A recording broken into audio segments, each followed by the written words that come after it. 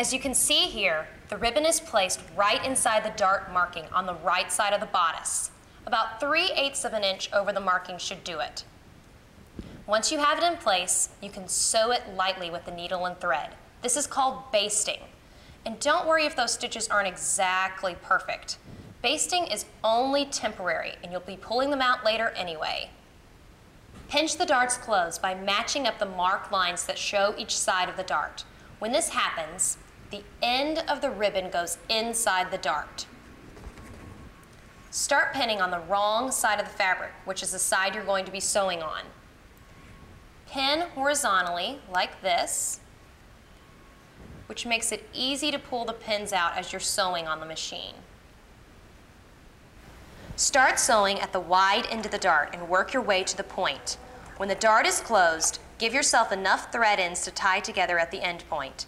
This is a neat finish so the end of the dart doesn't get too pointy, which isn't a pretty look. Press the darts towards the center so that everything is nice and smooth. As you can see, these ribbons aren't going anywhere. Now that you've got this done, you can take those basting stitches out. Their job is over. As you can see here, the seams are pressed open, which will be nice and smooth. I've also taken the bodice lining pieces and put them together using exactly the same steps I did for the bodice. Stay stitching at the neck, darts, side seams, you name it. The only thing I didn't do the same is put the ribbon ties on the lining. The lining is there to finish off the bodice, and it isn't meant to be seen, and there's no need for ribbon on the inside. Now that I have the bodice flat, with the right side facing me, I can take the bodice lining and lay it right on top like this. I'm keeping the wrong side of the lining facing me, so when I lay it on top of the bodice, the pretty sides of both bodice and lining are facing each other. I'm matching up the edges at the neckline and both armholes.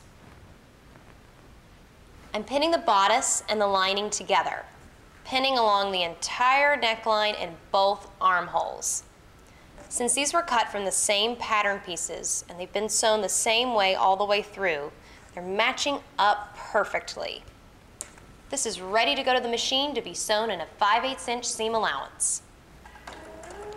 Curves are trickier to sew than straight seams, so take your time and make sure you stick to the 5 8 inch marking on your machine. See how these little bits have been cut out of here?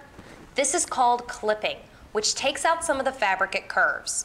What this does is releases the seam allowance at that point, sort of like a hinge.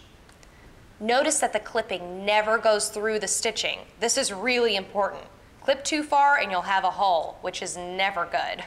I turned the bodice through these straps until the whole thing was right side out. When this is pressed and flattened out, you'll have completely finished neckline and armhole edges. Following the instructions, I've basted these raw edges to hold them together.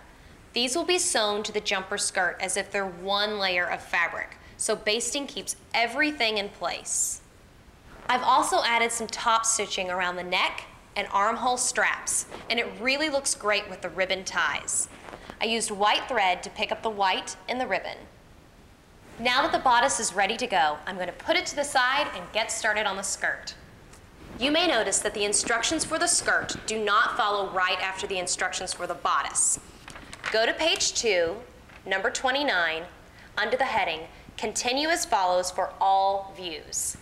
Like I did for the bodice, I've clipped the notches on the skirt front and back, and now I'm using my tracing wheel and dressmaker's tracing paper to mark the folding lines for the pleats on the skirt front.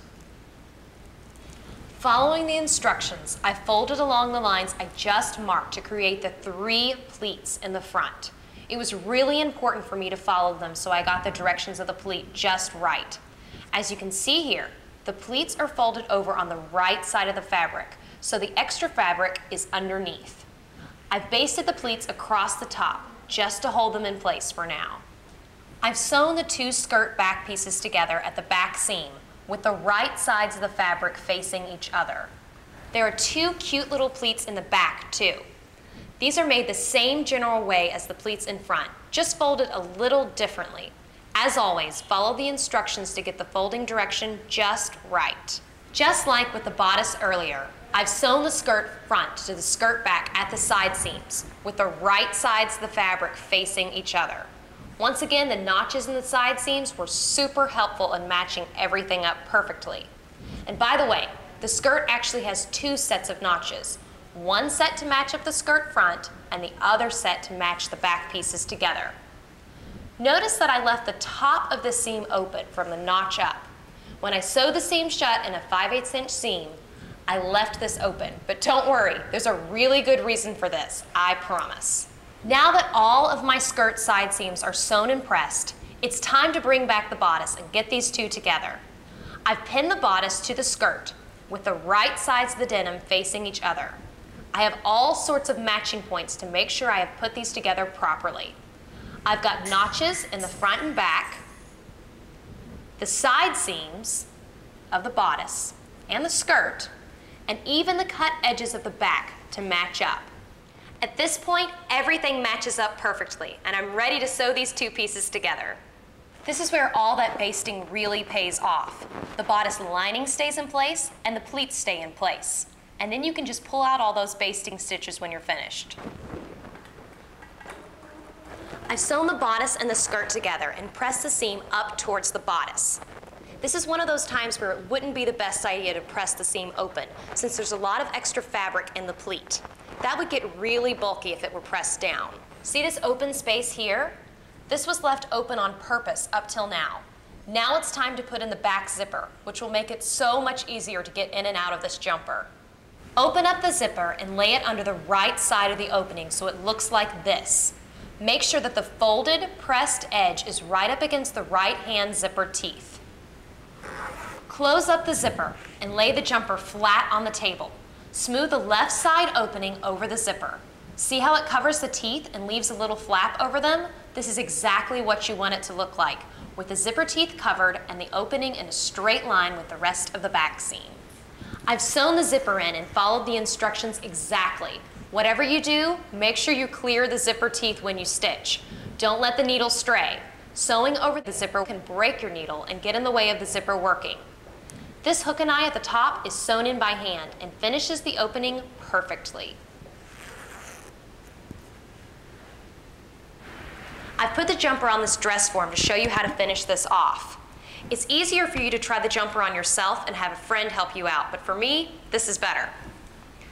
If you take the strap, smooth it down the back, just until you run out of slack. Tuck it in right here, hold it in place, and pin it down like this. After I took this off the form, I just hand sewed the straps down on the inside, sewing them to the lining. On the outside, I sewed across the back with the machine, right over the original top stitching and going through the bodice and the strap together to really hold everything in. To finish the hem, I folded the edge under a quarter of an inch and pressed it down so that I have a nice clean edge to work with. Then I folded the edge up again another two inches, which is the real hem.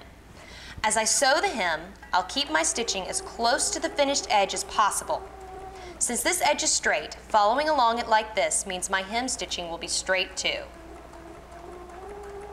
How cool is this? I've got a great jumper I can wear a bunch of different ways, and I made it with fabric, ribbon, and threads I picked out myself.